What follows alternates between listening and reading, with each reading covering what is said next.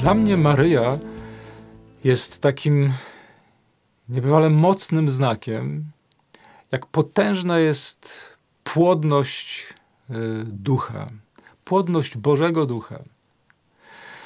Y, I to jest płodność, którą On pragnie objawiać w naszym życiu. Y, Maria, która stała się matką, która poczyna Bożego Syna mocą Ducha Świętego.